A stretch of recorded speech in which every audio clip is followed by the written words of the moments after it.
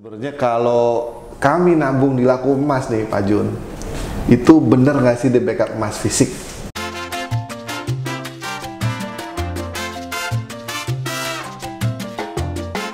Banyak cara untuk mendapatkan emas satu kilo ini. Ada yang nyicil emas, ada yang beli emas, nabung emas dikit-dikit, baik fisik maupun digital. Nah, bicara tentang tabungan emas digital, salah satu pemain di Indonesia adalah Laku Emas. Teman-teman mungkin pernah lihat dua video Goldfather sebelumnya tentang aplikasi Laku Emas ini. Nah, kali ini di video ketiga Goldfather akan kupas tuntas langsung bersama CEO-nya. Goldfather mau tanya-tanya nanti ya. Sebenarnya Laku Emas ini kayak gimana sih? Bisa nggak kita jadikan sebuah tempat atau aplikasi yang kita andalkan untuk tabungan emas kita di masa depan. Simak videonya berikut ini ya, jangan sampai lewat.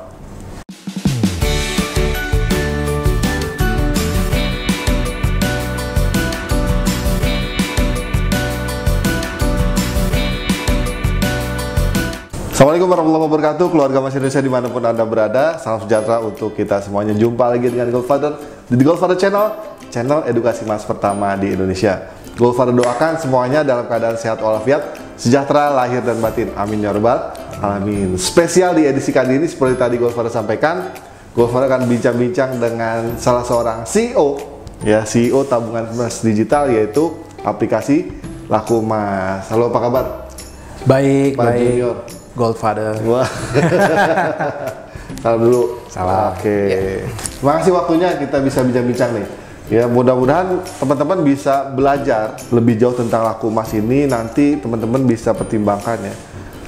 Benar gak sih laku emas bisa kita andalkan untuk menjadi tabungan kita di masa depan? Oke, gitu ya, Pak Junior. Saya panggil Pak Jun ya. Boleh silakan. Oke, Pak Jun. Pak Jun, saya mau tahu dulu nih, pertama sejak kapan laku emas itu mulai aplikasinya muncul, beroperasi gitu lah kira-kira. Oke. Mungkin kita cerita latar belakang dulu ya. Nah, latar belakang. Iya. Jadi Laku Mas itu kita sendiri baru berdiri di bulan Juli tahun 2018. Juli 2018, sudah dua ya. tahun lebih nih. Secara oke. perusahaan ya. Ya, oke. Akan tetapi kita sendiri sebagai sebuah grup ya sudah ada di Indonesia sejak tahun 1995. 95. Ya, lewat nama PT Sentral Mega Kencana see. yang merupakan pabrikan dan juga retailer perhiasan yang sampai saat ini kita sudah menjadi retailer perhiasan terbesar di Indonesia dan juga Asia Tenggara, Pak. Oh, luar biasa ya. Ya, nah jadi PT Laku Emas Indonesia itu adalah anak usaha dari si PT Sentral Mega Kencana itu. see. Salah satu brand yang terkenal apa tuh Pak Jun? Frank Co, Frank Co. Miss Mondial, Mondial, The Palace. The Palace, oke. Iya. Itu teman-teman bisa lihat tuh di video sebelumnya. Jadi teman-teman, dulu Goldfather juga main diamond berlian ya. Kalau teman-teman bermain berlian pasti nggak asing lagi dengan nama Frank Co. Itu yang paling sering didengar orang. Dan kalau udah dengar Frank Co kan kita brandingnya udah bagus lah, bonafit gitu. Jadi sejak 95 secara grup ya Pak. Betul. Nah ini juga menarik teman-teman ya. Tadi Goldfather sempat bincang-bincang sebelum ini. Sekarang aplikasi tabungan emas digital itu banyak di Indonesia. Ya, ada yang berdiri pure dari sebuah perusahaan tanpa latar belakang emas. Nah kalau laku emas kayaknya berarti ada latar belakang bisnis emas ya. Betul sekali, Pak. Iya. Gitu ya itu CMK grupnya ya. Betul. Jadi mungkin kalau boleh saya cerita ya, awal mulanya itu memang kan grup kita itu be- bermain di perhiasan, perhiasan emas dan juga menjual emas batangan ya berbagai merek.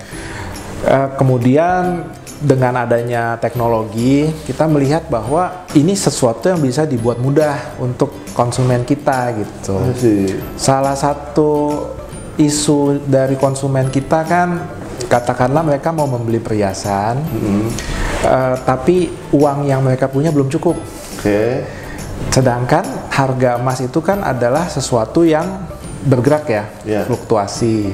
Jadi ketika mereka ingin eh, istilahnya mulai membeli emas tersebut karena mungkin dia khawatir harganya makin lama makin naik, makin mahal, kita ingin menawarkan sesuatu yang bisa mereka gunakan untuk oh yaudah deh, saya beli dikit-dikit dulu nih. Nanti pada akhirnya ketika sudah terkumpul emasnya ses- sesuai dengan jumlah emas batangan atau emas perhiasan yang mereka mau, mereka bisa jadikan itu emas batangan atau emas perhiasan di toko-toko kita. Jadi itu sebetulnya latar belakang Oh gitu. Kenapa kita bikin laku emas ini? Paham paham nih, Goldfather udah lebih paham lagi nih kalau begitu. Jadi teman-teman selama ini kita berpikir kan, tabung emas kita ambil cetaknya emas batangan. Tapi untuk di laku emas pilihannya selain emas batangan ada juga emas perhiasan. perhiasan, betul. Seperti waktu itu Goldfather beli emas perhiasan dari tabungan Ah, iya, emas. betul. di The Palace ya. Bulan lalu di The Palace tuh. Pas banget lagi anniversary. Iya benar-benar. Jadi latar belakangnya itu ya. Iya. Oke, paham. Kenapa? Kayaknya Goldfather tadi melihat karena memang sebelumnya sudah ada industri atau bisnis perhiasan emasnya ya. Jadi pabrik punya tuh Pak ya secara Pabrik ada, kita pabriknya di Jakarta Timur. Nggak semua perusahaan emas digital punya pabrik emas, betul nggak? Betul. Betul ya? Iya. Laku emas salah satunya. Oke. Yang berikutnya nih, di antara berbagai pemain emas digital, ya, kan bukan cuma laku emas nih. Betul. Kira-kira apa kiat-kiat laku emas nih di antara persaingan yang semakin ketatin ini?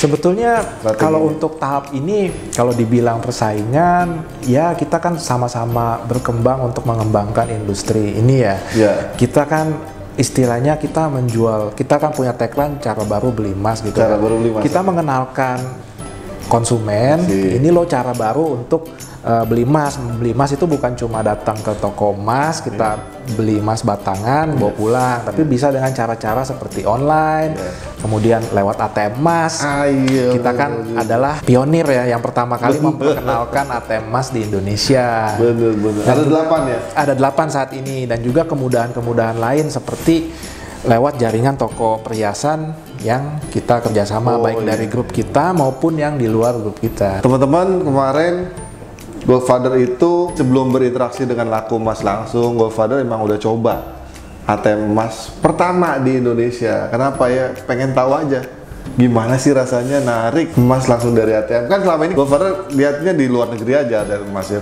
Begitu ada di Indonesia kita coba. Teman-teman perlu coba juga. Ada di 8 ada 8 tempat, betul ya? Saat ini 8 tempat, Di tapi kita akan nambah lagi kok, tenang aja. Oh gitu ya. Saat ini ada di tiga kota, Jakarta, Surabaya, Bandung. Masih Kalau di Jakarta mungkin ada di Mall Kota Kasablanka, oh kokas. oke. kemudian ada di Mall Eon Jakarta Garden City, eh, kemudian ada di Tangerang di Sumarekon, Serpong, Sumarekon di Pondok Indah di Pondok Indah, sini. dan di kantor Ah, kita di di, kantor. Sintesis Tower. Oh, sintesis tawar dan Gatot Subroto ya? Betul, Betul ya? Gatot Subroto. Oh, yang mau datang Jakarta. boleh tuh. Silakan. Terus di Bandung sama Di Bandung kita di Mall PVJ dan Oh. juga di Ciwok. Kalau di, dua di ada Bandung. dua betul. Kalau di Surabaya di Mall Pakuwon. itu mau dikembangkan lagi ATM-nya jumlahnya? Tentu ya tentu.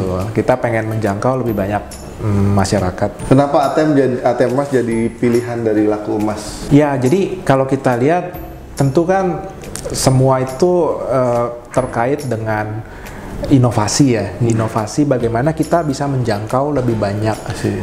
masyarakat ya. Kita ingin mensukseskan inklusi keuangan juga kan, menjangkau Asik. lebih banyak masyarakat dengan cara-cara yang efisien tentu saja kan. Kalau mungkin kita buka toko kan nggak efisien mungkin ya. Jadi kita pakai kepikir ide pakai ATM aja gitu kan. Karena kan space-nya kecil. eh, kemudian eh, yang jaganya mungkin cuma butuh satu orang gitu kan. Jadi cara-cara seperti itu. Oh, see. Oke, tetap menjangkau ke berbagai ke masyarakat dengan cara-cara yang lebih efisien, efektif, lebih efisien. Oke, lanjut nih. Pertama ya, paling sering tuh orang-orang nanya kalau masalah tabungan emas digital, masalah perizinan, sebagainya. Gimana Pak Jun untuk laku emas sendiri? Jadi kalau kita bicara perizinan, mungkin ini bukan sesuatu yang baru kita bicarakan di sini ya karena kalau di media massa tentu beritanya kan sudah banyak ya. Iya. Ada perizinan dari OJK, POJK nomor 31, POJK 5 tahun 2016 itu tentang usaha gadai di mana salah satu ruang lingkup perusahaan gadai kan boleh melakukan jasa penitipan Oh. barang berharga. Kemudian ada juga peraturan Menteri Perdagangan, ya kan, nomor 119 tahun 2018 yang kemudian diikuti oleh uh, peraturan Bapepti nomor 4 tahun 2019 Iya. tentang pasar fisik emas digital. Iya. Jadi itu peraturan-peraturannya ya.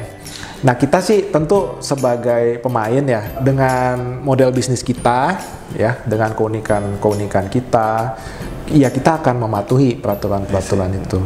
Masih berproses semuanya ya. Hmm, betul. Oke teman-teman, memang Golfer juga mengamati semuanya sedang berproses gitu ya. Antara regulator dan juga industri ini saling cari titik temu nih.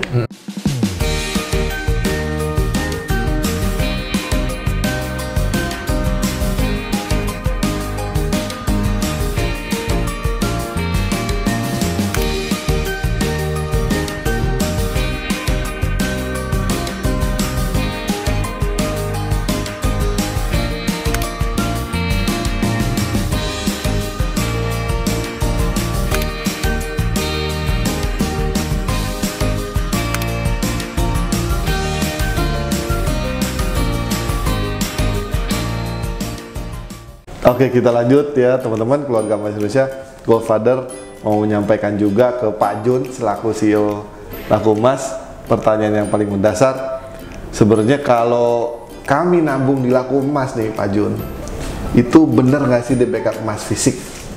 Itu saya mewakili keluarga Mas Indonesia nih Itu pertanyaan yang sangat valid ya. Karena kalau saya membayangkan diri saya sebagai konsumen, tentu saya juga akan menanyakan hal Sama yang ya? sama. ya. Benar. Nah di sini nih kita ambil dari dari berangkas kita. udah berangkas nih Jadi berangkas kita ini ada di kantor kita, cuma kita keluarin untuk untuk Godfather nih kita keluarin isinya beberapa ya. Untuk kita kasih lihat ke teman-teman bahwa eh, ini contohnya ya, yang emas satu kilo ya, emas satu kilo emas fisik ini kita beli eh, untuk membackup emas fisiknya teman-teman yang yang teman-teman beli di aplikasi Laku Emas. Kemudian untuk kalau untuk pengambilannya, misalnya Goldfather ingin mengambil, ingin memilih Mm-mm. Oh, Ini ada bebas. beberapa brand nih Betul. apa aja nih Pak Pak Jun kita tiga brand besar eh, emas logam mulia di. Indonesia kita ada yaitu eh, emas antam ya logam mulia kemudian emas UBS UBS oke. Lotus Arki ini yang yang baru ya.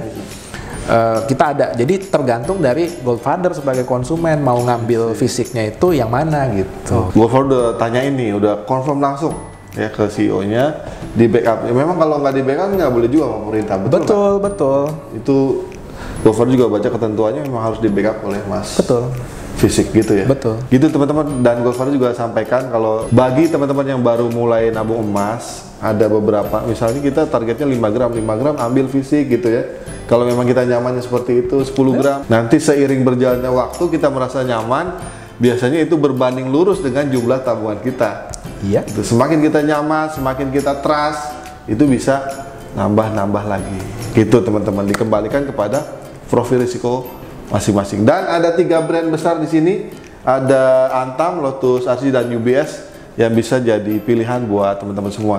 Dan Pak Jun nih kemarin itu yang saya ingin coba juga sebenarnya ya buat teman-teman yang di daerah nih yang nggak ada ATM emasnya, jaringan toko laku emas juga nggak ada.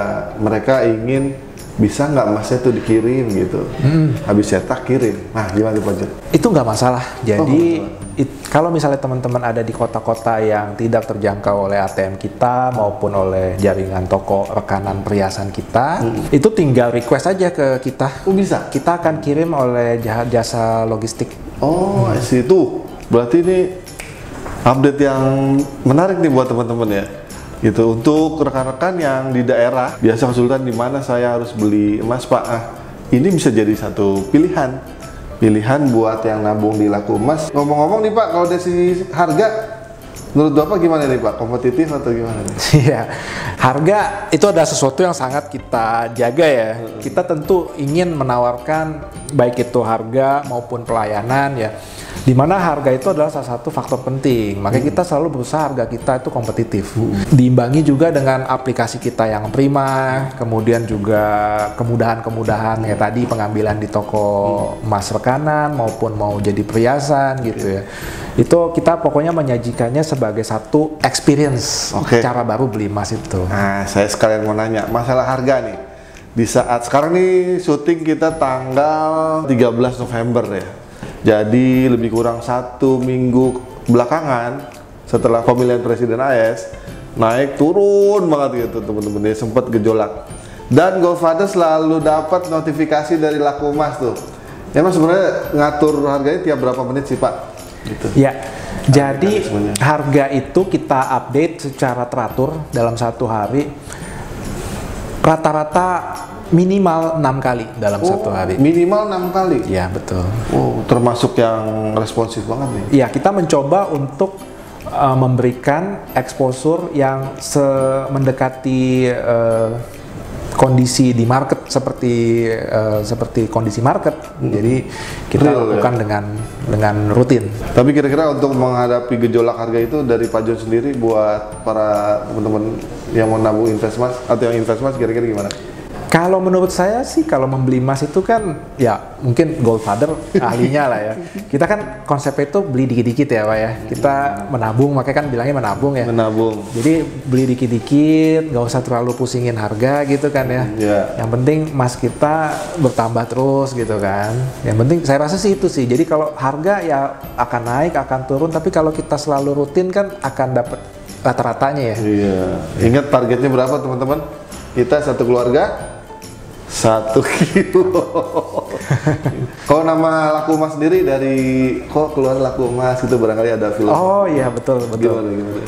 Eh, actually menarik sih Pak karena eh, mungkin kalau kita mengacu ke OJK ya mereka kan punya program laku pandai. Oh itu Ya, laku pandai. layanan layanan keuangan tanpa kantor untuk inklusi keuangan ya kan Oh. see. dalam rangka inklusi keuangan. Nah kita terinspirasi dari situ, Oh. tapi kita buat emas gitu, makanya jadi laku emas gitu sih. Oh begitu layanan keuangan spesifik di emas nih. Iya. Iya iya iya. Ada transfer juga kalau nggak salah. Ya, itu untuk misalnya Fitur. Goldfather mau kasih emas ke saya, ya kan? Ini fiturnya ada eh, beli emas, jual emas, transfer, tarik fisik dan yang lain gitu. Ini termasuk yang paling lengkap nih teman-teman. Karena ada laku tukar juga. Tukar Goldfather udah perhiasan, coba. Ya. iya. donasi, donasi gitu. Donasi. Kita kerjasama dengan dompet duafa gitu ya. Kalau misalnya Goldfather ingin atau teman-teman ingin mendonasikan emas yang udah dipunya di sini, gitu ya? kita kerjasama sama dompet duafa lewat program-programnya mereka. Oh iya iya.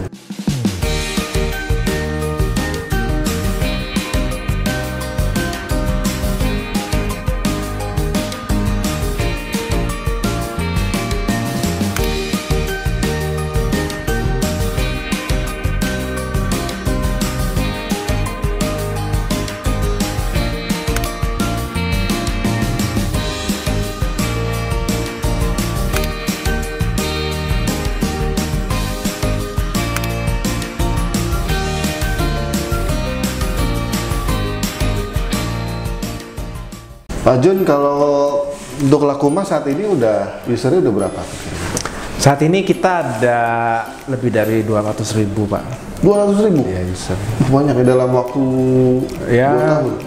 Satu tahun lebih lah ya. Banyak juga ya. Dan biasanya mereka itu dari sebagian besar di kota besar atau lokasinya? Eh, menyebar sih, menyebar. Eh, memang kita lihat kebanyakan dari kota-kota besar. Kota besar ya. Oke.